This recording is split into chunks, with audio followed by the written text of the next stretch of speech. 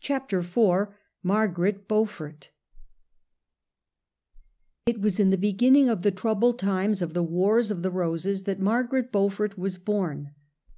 Her father, the Duke of Somerset, was one of the great nobles on the Lancastrian side. He was the grandson of John of Gaunt, son of Edward III. and Duke of Lancaster, who had married a rich and noble heiress. Margaret was born in 1441 in her mother's manor of Bletsoe in Bedfordshire. Only three years after her birth her father died, and the little girl, his only child, was left heiress to vast estates and riches. She passed the early years of her life at Bletsoe with her mother. Great care seems to have been given to Margaret's education. It was not common in those days for girls even to be taught to write, but Margaret was bred in studious habits. She knew French perfectly and also some Latin, but in later life regretted that she had not been able to gain a fuller knowledge of that language. She was very clever with her needle and is known to have executed beautiful embroidery. Above all, she was well taught in religion and trained in habits of piety. But the condition of a great heiress was far from agreeable in those days. It was the custom to give her to some great noble as his ward, and he then had the right to arrange for her marriage as he liked. When Margaret was nine years old the king gave her as ward to the Duke of Suffolk, one of the most powerful men of the time, and he had her brought to court and wished to marry her to his son. But the king Henry VI. wanted her to marry his half brother Edmund Tudor, Earl of Richmond. Margaret was puzzled by these different proposals, and asked the advice of an old lady whom she dearly loved. The old lady bade her ask St. Nicholas, a saint who was thought to care especially for young girls, to help her in this difficult matter. Margaret prayed often to St. Nicholas, and one night, whether she was awake or asleep she did not know, St. Nicholas in the dress of a bishop appeared before her and told her to take Edmund Tudor as her husband. This dream seems to have decided the choice of her mother, and as shortly afterwards the Duke of Suffolk fell into disgrace, it came about that Margaret was allowed to marry Edmund Tudor when she was not quite fifteen years old. After her marriage she went with her husband to live at his castle at Pembroke in Wales, his native country. Only a year afterwards he died, and a few weeks after his death her son Henry was born. At the age of sixteen, only a child herself, she was left a widow with a child to take care of. The baby was small and weakly, and to it Margaret gave all her care. It was an anxious time for the members of the Lancastrian family. Their rivals, the Yorkists, were beginning to rise into power, and the little Henry, both on account of his great possessions and because through his descent from John of Gaunt he was so nearly related to King Henry VI., was not likely to find them friendly to him and his mother. Margaret was glad to stay in quiet seclusion at Pembroke Castle under the protection of Jasper Tudor, her husband's brother, now owner of the castle. Even had he wished, Henry VI. could not have befriended her. He was powerless sometimes in the hands of those who called themselves his friends, sometimes flying before his enemies, whilst the country was distracted with the struggles of the Yorkists and the Lancastrians. Margaret thought it best to seek a protector for herself and her son by marrying Lord Henry Stafford. When Henry VI. was in power she and her son were able to visit the court, but at other times she was only safe in her castle in Wales. At last Edward of York became king as Edward IV., and Henry VI. was cast as a prisoner into the Tower. Edward IV. seized the lands belonging to the little Henry, and his mother feared lest even his life might not be safe. So she was willing that he should escape to France under the care of his uncle Jasper. Henry was then fourteen. Margaret had watched anxiously over his delicate childhood, moving him about to different places in Wales for the good of his health. He was an intelligent boy, and once when his uncle Jasper had taken him to court to see Henry VI., the king is reported to have said when he looked at him, " Surely this is he to whom both we and our adversaries shall hereafter give place." His tutor said that he had never seen a boy of so much quickness and learning. But now the poor boy had to leave his mother and his country. The wind drove him and Jasper to land on the coast of Brittany, and when the Duke of Brittany heard of their arrival he ordered them to be brought to his castle at Vannes. There he kept Henry as a sort of prisoner, but refused to give him up to Edward IV., and though not allowed to leave Vannes he was at least safe. For fourteen years Henry was obliged to remain in Brittany, separated from his mother. The Yorkist king, Edward IV., was on the throne, and Margaret, separated from her son, lived as quietly as possible in her estates in the country, anxious to save what she could of her money and her lands for Henry. She seems to have stayed in different parts of the country. Wherever she lived, she devoted herself to the care of the poor and the good of the church. Staying at one of her houses in Devonshire, she found that the priest's house was at some distance from the church, so that he had some way to walk to and fro.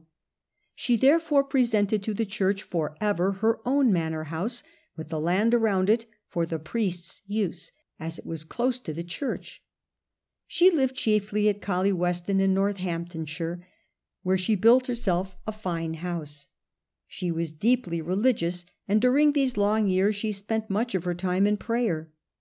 She used to get up at five o'clock and spend the hours till ten, which was in those days the hour for dinner, in meditation and prayer. The rest of the day she spent partly in ministering to the wants of the poor and sick, partly in study. Books in those days, just before the introduction of printing, were scarce and precious.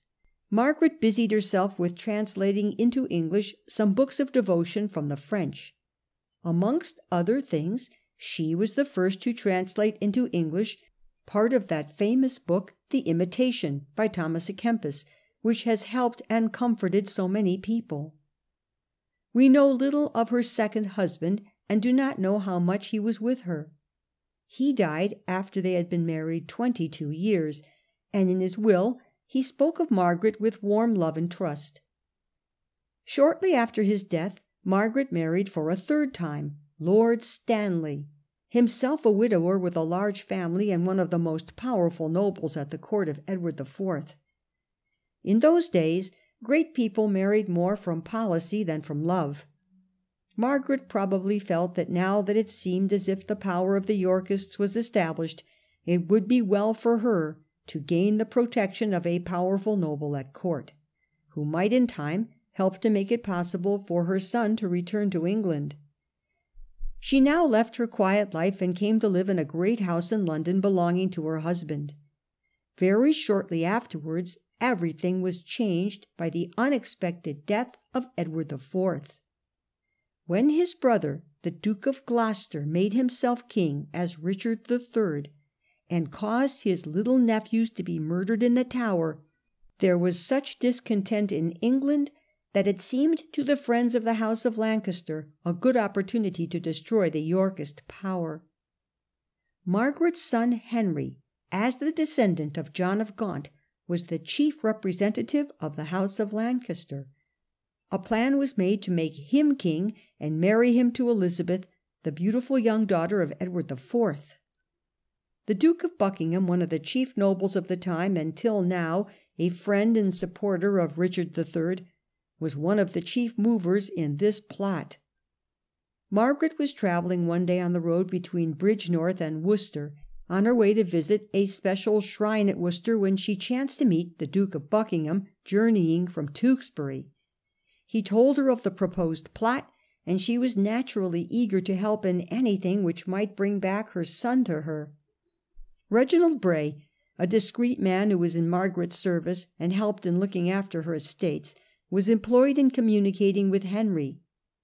The young prince found many friends, and a fleet was got together to bring him to England. But after he had started, a mighty storm arose, scattered his ships, and drove him back to the coast of France with such fury that he narrowly escaped with his life. For the moment all seemed lost. Richard III.'s suspicions were thoroughly aroused. He knew that Margaret had been communicating with her son, and he was very angry with her. But he did not dare to anger her powerful husband, Lord Stanley, by treating her too severely. He bade Stanley keep her safely in some secret place at home, without any servant or company, so that she might have no means of communicating with her son. Stanley himself was really in Henry's favour, and Richard, beginning to suspect him, seized his eldest son and kept him as a hostage for his father. Somehow communications with Henry still went on, and in 1485 he landed in Wales, and all men flocked to join him. Stanley, who pretended to keep faith to Richard to the last, deserted him just before the battle of Bosworth, where Richard was utterly defeated and killed. His crown was found hanging in a bush by Reginald Bray, and brought to Stanley, who placed it on the head of Henry, crying, Long live King Henry VII. It seems likely that Henry first met his mother at Leicester after the battle. She had parted with him fifteen years before, when he was a boy of fourteen. She met him again as King of England. The right that Henry had to the throne came to him through his mother. She might have claimed to be queen herself, but she never thought of doing this, nor did she try to take any part in public affairs. Of course, all her lands were restored to her, and she was called at court the full noble Princess Margaret, Countess of Richmond, mother of our sovereign lord the king. She now for the most part lived in her manor of Woking in Surrey, coming to court only on important occasions. Henry married Elizabeth, the tall, golden haired daughter of Edward IV., a few months after he became king, and Margaret seems to have been with her on all important occasions. Perhaps she may have domineered over her a little too much, for the Spanish envoy reported to his court that Elizabeth was a very noble woman and much beloved, but that she was kept in subjection by her mother-in-law, the Countess of Richmond. At any rate, Margaret was by her side on all great occasions. Together they watched from behind a lattice the coronation of Henry in Westminster Abbey, and the banquet afterwards in Westminster Hall. Together they went in state in a barge to Greenwich to see a water fete arranged by the Lord Mayor in honour of the king's coronation, where, among other shows, they watched a dragon which was carried along in a barge and spouted fire into the Thames. Henry VII. always treated his mother with great consideration. Margaret seems to have been an authority on matters of etiquette, for before the birth of his first child Henry asked her to draw up a set of rules about the ceremonies to be observed on the occasion. In these rules it is stated that there were to be two cradles of tree, meaning of wood, one large for state occasions to be adorned with paintings and furnished with cloth of gold and ermine fur and crimson velvet. At its christening the child was to carry a little taper in its hand, and two hundred torches were to be borne before it to the altar. After the baptism, the torches and the little taper were to be lit, and the child was to present the taper at the altar. It looks as if the love for grand ceremonies which distinguished the Tudors had been started by Margaret. Her own household was beautifully ordered. She had drawn up a set of rules for the guidance of all the servants and the ladies and gentlemen who made up her household, and these rules were read aloud four times a year, that all might know and observe them. She visited in turn all her different estates, spending some time at each, so that she might see that each was well ordered, and hear the complaints of all those who had any grievances. She herself would constantly speak loving words of encouragement to her servants, bidding them all to do well and to live in peace with one another. She employed a band of minstrels of her own, who would sometimes wander round the country and perform before the king and the court. As was the custom in those days, many young gentlemen were educated in her household. Her care of the sick and suffering never failed. She would minister to them with her own hands, and twelve poor folk to whom she gave food and raiment lodged constantly in her house. Neither did Margaret forget her interest in study. We are told by Bishop Fisher, who knew her well, that she was of singular wisdom, far surpassing the common rate of women.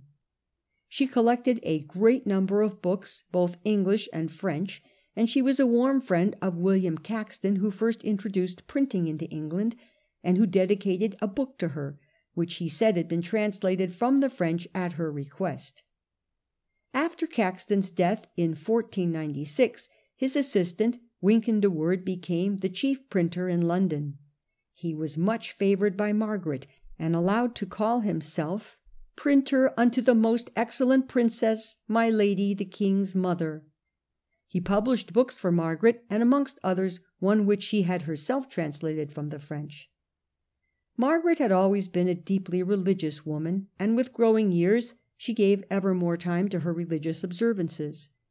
Many hours were spent in prayer and in services in her chapel. She observed strictly all the fasts ordained by the Church, which were very severe in those days, and she wore on certain days in each week a hair shirt or a hair girdle next her skin in order to mortify her flesh. In 1497 Margaret appointed a learned Cambridge scholar, John Fisher, whom she had noticed with favour at court, where he had come on business connected with his university, to be her confessor. Fisher gained great influence over her, and he used it for the good of his university, which was then by no means in a prosperous condition. Margaret was always generous with her money. Fisher says of her that she hated avarice and covetousness, and she was glad to use her wealth to promote the cause of learning.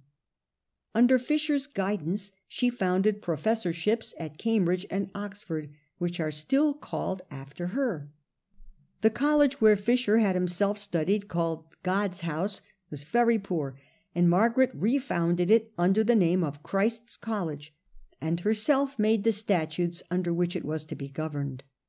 She took great interest in it, and kept some rooms in it for herself, where she might stay when she came to Cambridge. Once, when she was staying there before the building of the college was finished, she was looking out of the window when she saw the dean beating a scholar who had misbehaved. She did not interfere to stop the punishment, but only called out in Latin, Lente, lente, gently, gently, wishing that the beating might be less severe. It was in Cambridge that the famous scholar Erasmus met her on one of his visits to England, when she was an old lady, and admired her good memory and a ready wit. Before the buildings of Christ College were finished, Fisher won Margaret's interest in the foundation of another college, St. John's. At that time, the time which is known as the Renaissance, because art and learning seemed to be born again, men were eager to improve the teaching at the universities and to make it possible for all who wished to gain knowledge. Fisher was friends with Erasmus and other learned men, and Margaret was willing to help with her money his plans for the advancement of learning, just as she had helped Caxton and Wynkyn de Worde in printing and publishing books. But though for those days she was a learned woman herself, she does not seem to have thought that other women should be helped to study, and it was only the learning of men that she aided by her gifts. Henry VII was interested in his mother's plans, and himself visited Cambridge to see her college. He also thought highly of Fisher, and named him Bishop of Rochester. There seems to have been a deep affection between Henry and his mother. Once in writing to her toward the end of his life, he says that he is bounden to her for the great and singularly motherly love and affection that she has always had for him. In writing to the king, Margaret called him my own sweet and most dear king, and all my worldly joy, and often addressed him as my dear heart. She had the sorrow of seeing him die before her, but she did not live many months after him. She suffered greatly from rheumatic pains in what Bishop Fisher calls her merciful and loving hands, so that her ladies and servants wept to see her agony. She died at Westminster and was buried in Henry VII.'s chapel in Westminster Abbey, where a black marble tomb commemorates her memory.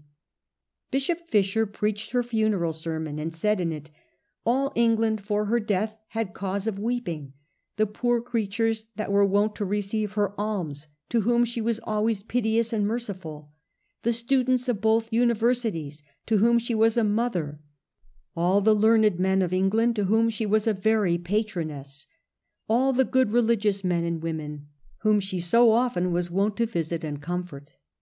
Margaret's plans for the foundation of St. John's College were not finished at her death, and Wolsey, the favourite of her grandson Henry VIII., tried to get her lands for other purposes. Fisher's efforts succeeded in keeping a great deal for St. John's, though not as much as Margaret had meant to give. She left all her jewels, books, vestments, plate, and altar cloths to her two colleges. She had been especially fond of fine goldsmith's work, and many beautiful things had been made for her, adorned with her own emblem, a daisy, or with the rose and the portcullis, which through her descent from the Lancaster and Beaufort families became the Tudor emblems. Besides her colleges, she founded several almshouses and a school at Wimborne, where her parents were buried.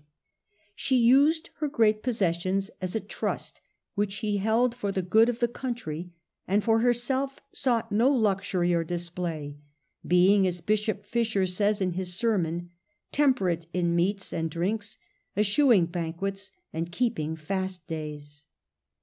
End of section 6